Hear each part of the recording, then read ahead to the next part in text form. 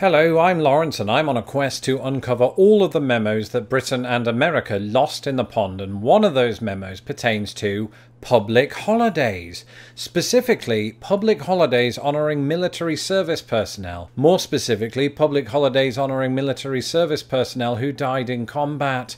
In Britain and other Commonwealth countries, this is known variously as Remembrance Day, Poppy Day, or Blackadder Goes Forth Day. I might have made that last one up. It falls on the 11th of November, marking the end of World War I. To many, that was the war to end all wars. To others, it clearly hinted at a sequel. But in yet another twist of British and American fate, November the 11th is also the date Americans mark Veterans Day. This is an observance not merely of the dead, but of honourable veterans in general, up to and including Lieutenant Dan. The actual US equivalent of Remembrance Day falls much earlier in the year and is known as Memorial Day. It's a chance to remember US military personnel who perished in the field of conflict, like Bubba or Blaine from Predator. But while the origins of Veterans Day and Remembrance Day are easy to pinpoint, those of Memorial Day, as with the word tantrum, are more complex. Sure, historic record dictates that Memorial Day became a federal holiday in 1971, but how, where, and when did the seeds of it first get planted?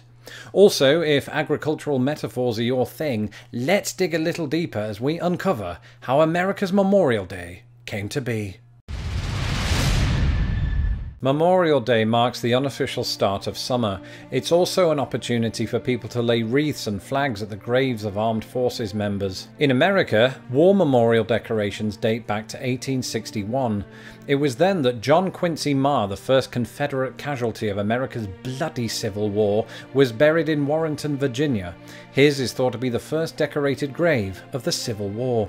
But more were to follow. In 1862, the grave of Confederate Colonel Francis Bartow was decorated in Savannah, Georgia, and days before the end of the war, recently freed African Americans held an enormous parade for hundreds of dead Union soldiers in Charleston, South Carolina. A custom that began in the South also took off in the North. In fact, military grave decorations were made at Gettysburg in 1863, prompting many to claim that President Lincoln invented Memorial Day. He didn't, nor was Memorial Day named named during his lifetime, but his assassination did precipitate a boom in war memorial decorations. A month later, the Civil War drew to a close. Over half a million dead, and not a single one of them was Rhett Butler.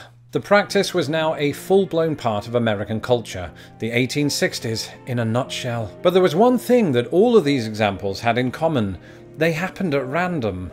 There was no singular date in which Americans, Confederate or Union, huddled around a tree. People, particularly women, were governed not by a public holiday but by when their husband's hearts stopped beating.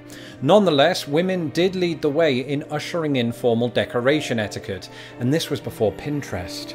When Americans did settle on a date, it came via John A. Logan. Three years after the war's end, he decided that the magic number was May the 30th, and he did so for three reasons. The flowers would be in bloom, the date had seen no major battles, and his first choice was already taken up by people dressed as Yoda. This new observance would finally be given a name, and that name was Decoration Day. That's right, Memorial Day once went by another name, you know, like Bob Dylan once did, or Stephen King, or Russian wizarding student Tanya Grotter. Ultimately, Decoration Day didn't stick, instead, it was moved to the end of November. That was a Christmas joke. But it was initially adopted by 27 states, mostly from the north. And this is a key point because southern states felt that their practice was being unfairly appropriated, and so they struck back with Confederate Decoration Day.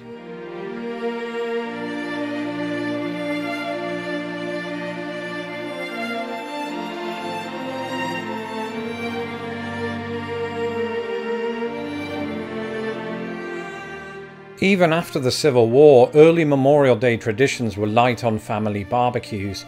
The guiding theme for both sides was our dead are better than your dead, and also that countries should have multiple names for these things like, you know, Remembrance Day, Poppy Day, and Blackadder Goes Forth Day. As the dust of the war settled and as America entered the halcyon days of the 1880s, the name of Memorial Day fell into use. For the next 70 years, it would be used interchangeably with Decoration Day.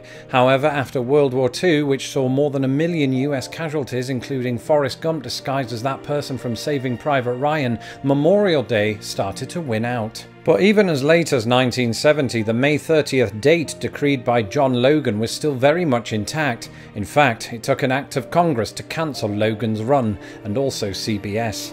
In 1968, 100 years after the inaugural Memorial Day, the observance was wrapped up in something called the Uniform Monday Holiday Act. And this didn't mean that you could only have a holiday if you wore a uniform. It was designed to standardize the calendar so that certain holidays fell on a Monday. And this was largely unfair because it subjected George Washington to an eternity of Monday birthdays, but it also meant that Memorial Day, Labor Day, and Columbus Day followed suit. Veterans Day was briefly on that list too, but Congress reverted it back to November 11 when it saw the potential for future Lost in the Pond videos. And perhaps such videos are important. After all, as long ago as 1913, one Civil War veteran in Indiana complained that kids born in the 1880s, and I quote, forget the purpose of Memorial Day and make it a day for games, races, and revelry instead of a day for memory and tears.